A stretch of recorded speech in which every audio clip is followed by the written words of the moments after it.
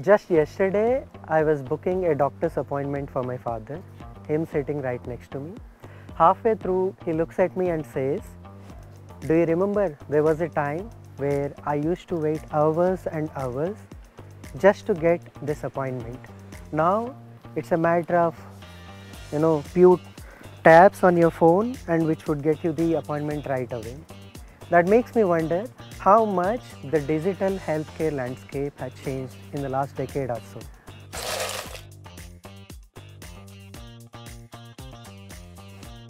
To uncover the full story about the progress in digital healthcare in India, I am joined by Suhail from Gates Foundation India. Great to meet you, Raf. Great to meet you.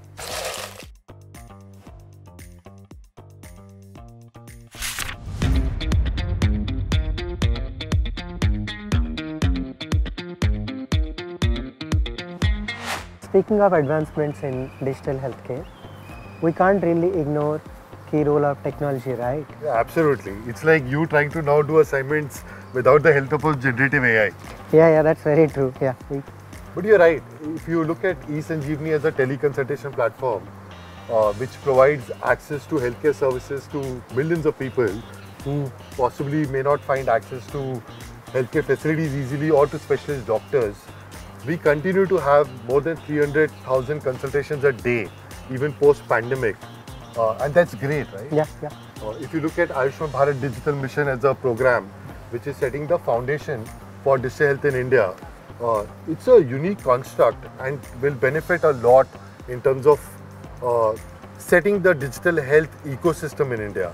That reminds me, do you have Ayushman Bharat Health account of yours? Abha, Abha, right? Yeah, Yes. yeah, of course I have Abha. Okay. In fact, you know, that's how I monitor my health records and this is how I've been monitoring my hemoglobin track over a six months now and it's been doing wonders for me. This is great. Yeah, I also read on a data point, there was an incredible 70% drop in maternal mortality rate from late 2000s.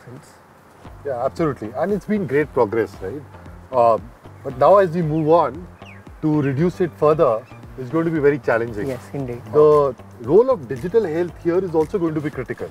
Just to give an example, if there's a pregnant woman who today goes for her regular checkup during the pregnancy period, there is first the element of ensuring that the data information of her checkups is providing any indicator of that potentially being a high risk pregnancy because we need to flag those, right?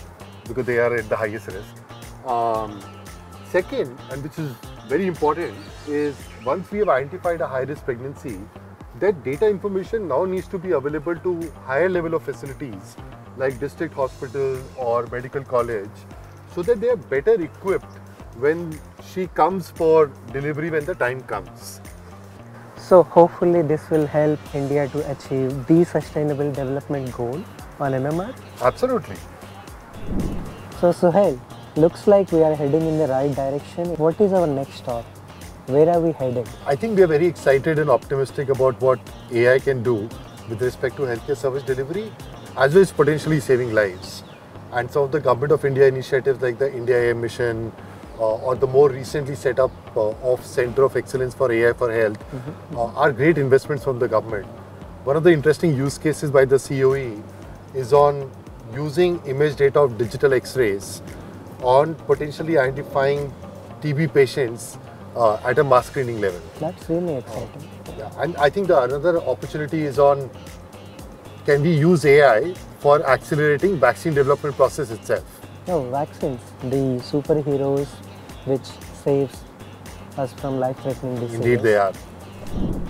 Now that we have mentioned about superheroes, if you were one of the superhero, what is the superpower that you would like to have? I wish I had a magic wand which I could tap on your hand and just get all your health data right away.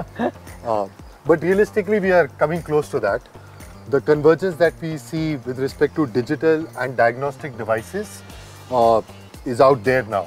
And the phone example you showed earlier, or the watch that I'm wearing, could provide a lot more information about our health, which could be useful not just in terms of curative aspect of healthcare services, but also the preventive component. After this conversation, the most exciting thing for me is the possibility that we are building a healthier future for not just for our generations, but generations to come as well. Correct. And every digital health intervention contributes to a stronger health system, which should hopefully have a lasting impact on future generation. And that is what progress in the healthcare truly means. Thank you, Sohail.